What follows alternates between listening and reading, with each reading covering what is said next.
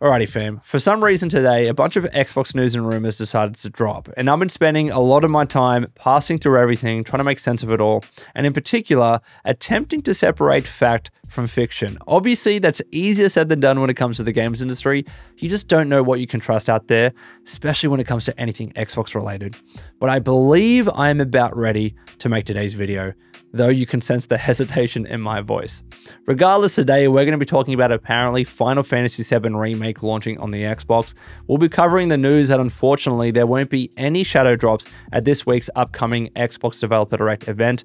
We'll be covering the rumors surrounding Indiana Jones' supposed release date, and finally, we'll be covering the Stalker 2 situation. So if you enjoy this video, if it helps, please like it. I would really appreciate it. Subscribe if you're new with notifications if that is possible. But let's get right into the news.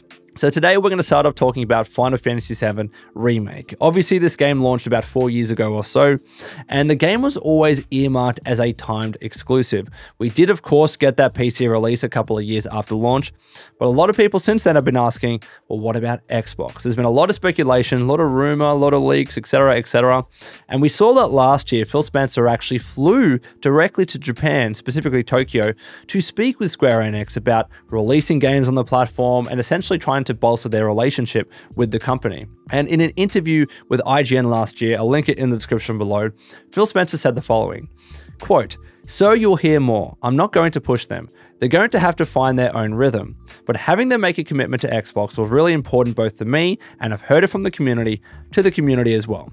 And 14 was more of a commitment, end quote. Obviously there he's referring to Final Fantasy 14 that's going to be coming to the Xbox. In fact, today, Xbox kind of released something regards to the open beta, and they pulled it because the date was wrong. But yes, that's going to be coming to Xbox. But obviously at that meeting, it's it's clear they would have talked about other games. It wouldn't have just been about Final Fantasy 14. And if I I was a betting man, which I'm not, but if I was a betting man, I would almost guarantee they also talked about Final Fantasy Remake in that meeting as well. Now, is there anything more concrete that we can go off of? Not really, but we've got some leaks and rumors to talk about. So recently, Jez Corden, if you don't know him, he's a really well-renowned journalist. He covers a lot of insider information when it comes to the games industry, especially Xbox stuff. Recently, in an episode of the Xbox 2 podcast, I'll link that in the description below, Jez said the following, quote, I've got evidence tentatively that there are discussions about Final Fantasy VII for Xbox. So he does say tentatively, he doesn't really know. He just he's seeing certain things here and there. And I've spoken to Jez about this kind of stuff in the past. He likes to get more like different sources and actual concrete stuff before he makes a full article about it. So to me, this suggests that he's a little bit more hesitant about this. Like it's just discussions at this stage. And as I mentioned, of course they would have discussed it when Phil Spencer literally flew to, to Japan to see them, right? So there's no doubt there's been discussions, but whether it's actually happening, who really knows? We're still getting Final Fantasy XIV as well, and Jez suspects a little bit that let's say Final Fantasy VII Remake was coming to the Xbox, they wouldn't want to announce it anytime soon because obviously this year a big focus for Square Enix is Final Fantasy VII Rebirth, right? And Jez suspects they don't want to take away from the shine and the intention of that game, especially for PlayStation's sake, because it is going to be a timed exclusive. So expect that PC release sometime after that. But what about Xbox too? If we get the remake, maybe we get Rebirth. Who really knows? Let me know what you think in the comments below. But let's talk about the second news that, unfortunately, and this is the bad news today, there won't be any shadow drops at this week's Xbox Developer Direct event. So there was an Xbox Wire article today, I'll link it in the description below. It is entitled How to Watch the Xbox Developer Direct 2024 on Thursday, January 18. By the way, I'm going to be streaming it, so keep it locked to this channel. I'll schedule a video sometime tomorrow so you can see when the live stream will go live. But all the way, all the way at the bottom of that article, there is a Q&A, and Xbox asked itself essentially the following. When will the games in the show be released? And the answer, all the games in this year's Developer Direct will be arriving later, with more details to be shared in the program. So what they're saying here is that all the games, literally all the games, you know, that, that are going to be shown at the Developer Direct are going to be releasing at some stage later. They're trying to be essentially firm that there aren't going to be any shadow drops whatsoever. And I believe Xbox is trying to combat a lot of the rumors and leaks that I covered in my recent video about it, suggesting that Xbox was planning another Shadow Drop similar to Hi Fi Rush of last year. Now, does that kind of discount or, or kind of ruin the credibility of those rumors and of those supposed leaks? Depends how you take it. Like maybe they were planning it and decided to change their mind, or maybe there just wasn't any shadow drops whatsoever and people were kind of talking out of their ass. Believe what you want, but at least it's good to have confirmation there won't be any shadow drops whatsoever. However, this doesn't mean there won't be any surprises. And I'll talk about a, a, rumor in a second when it comes to surprises. But they're not saying these are the only games we're talking about. They're saying the games that we do talk about will be releasing later or arriving later, right? So there is still a possibility, there is still a chance that there will be some sort of surprise announcement at the Developer Direct. However, it might not be a major game, and let's get to that right now. So, first of all, uh, Insider Gaming, in the midst of all of this news, re- released an article today, and they talked about two things. One, the Developer Direct event, and also two, r- rumors surrounding the release date of Indiana Jones. Let's talk about the Developer Direct stuff first because we are just talking about it. So, in that article, they say the following quote, One thing insider gaming sources have mentioned, however, is a fifth game being shown during the show. That said, it's not expected to be a major game. So, as I mentioned, there is a chance for a surprise announcement during the developer direct, and Insider Gaming apparently has sources confirming that. So, whether you want to believe them or not, I don't know, take them with a grain of salt. But are we are we going to be surprised if there's a surprise? Of course not. Like I reckon Xbox probably has something up their sleeve.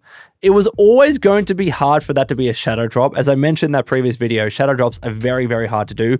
Lots of planning, lots of coordination, lots of effort to make sure it doesn't get leaked.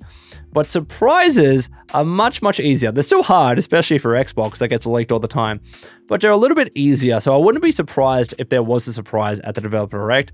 And Insider Gaming seems to think so with their sources. So let's see if it actually happens. But they do say that it's not expected to be a major game. Now, Maybe that means it's going to be like an existing game on another platform that's coming to the Xbox. Maybe it's like a smaller game, an indie style game, maybe even a double A game. I don't know, but even if it's not a major game, that's still a big deal to me. If it's a genuine surprise that no one knew about and no one even kind of speculated or had rumors or leaks about, then to me, that's a major event in any event. So let's see what happens. But now let's talk about Indiana Jones. So in that same article, Insider Gaming also said the following, quote, while the company didn't specifically state it, Insider Gaming sources have said that the current plan is for the Indiana Jones game to be released later this year. So obviously we're seeing Indiana Jones in the Developer Direct event this week. I think it's like 10 minutes of gameplay or so. But Xbox never specifically said when the game is releasing, whether it's this year or next year. I believe either they're keeping the cards close to their chest because they don't know when the game is going to be ready. There's every chance of that. Or two, they actually want to save it for the developer direct event. They're going to have a big release set announcement right at the end of the show. I currently, and I could be wrong, I'm leaning towards the game actually being pushed back to next year. I just, just based on everything, I just can't believe that it's going to come out this year. But I reckon I'm going to be proven wrong, especially if insider gaming sources are actually to be believed and Xbox is clearly very bullish on the game. Maybe Machine Games is ready to release the game this year but I just wouldn't be surprised if it's going to be delayed. Let's see. But talking about delays, let's talk about Stalker 2. So Stalker 2 we know is a exclusive, but unfortunately today GSC Game World, the developer, released a new trailer today that was entitled Stalker 2: Heart of Chernobyl Final Release Date Announcement.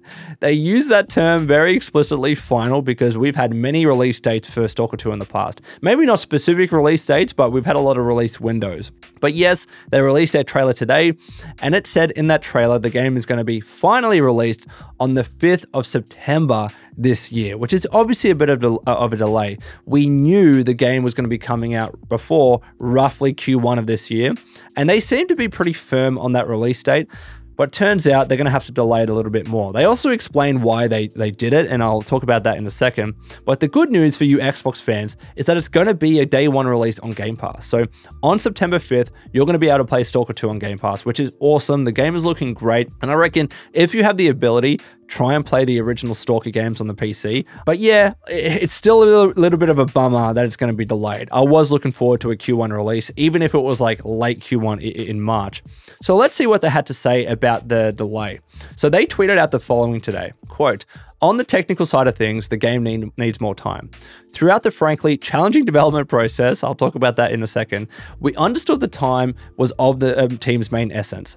Seeing the scope of polishing and understanding that we can't push your patience too much, we were absolutely dedicated to releasing the game in Q1 2024, and we worked extra hard to meet the release window.